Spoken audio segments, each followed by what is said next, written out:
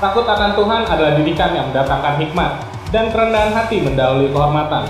Shalom jemaat yang dikasih Tuhan, kembali bersama saya Givano, saya akan memandu Anda selama beberapa menit ke depan untuk menyaksikan Blessing News edisi kali ini. Momen sebelumnya bersama kita akan saksikan pesan gembala berikut ini. Kalau saudara jadi orang yang dapat dipercaya, nggak usah pusing dengan nggak usah kejar duit. Itu yang ngejar sendiri. Sekarang nih yang dicari itu orang yang dapat dipercaya. Semakin banyak orang percaya sama saudara, saudara juga udah nggak ada waktu lagi untuk bisa kerjakan itu. Kerjaan ngejar saudara, bisnis ngejar, proyek ngejar saudara.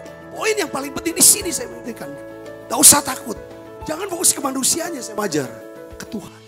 Karena kalau dia mempercayai kita sesuatu, tidak ada satupun yang bisa menutup. Dia bilang, aku beri kamu kunci Daud. Apa yang sudah aku buka, tidak ada satupun yang bisa tutup itu. Ini bicara tentang kalau aku sudah beri kamu kepercayaan, aku Tuhan, penguasa alam semesta. Tidak satu pun kuasa, tidak ada satu pun manusia yang bisa tutup kamu.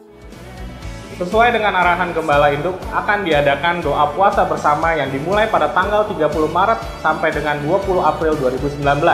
Doa puasa ini wajib untuk pelayan jemaat dan aktivis serta dihimbau untuk jemaat. Dengan tujuan, pertama, untuk pemilihan presiden dan wakil, serta pemilihan legislatif serentak. Dan kedua, damailah Indonesiaku.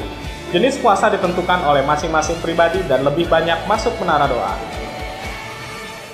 Akan diadakan ziarah ke Tanah Perjanjian 19 hingga 27 November 2019 bersama dengan Pendeta Sabta Tandi dengan menggunakan Katai Pacific Airlines.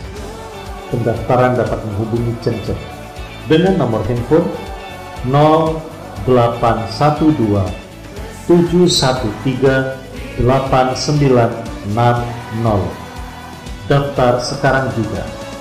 Kegiatan gereja selama sepekan ini berjalan seperti biasa dan untuk informasi lebih lengkap saudara dapat melihat di warta yang sudah Anda terima.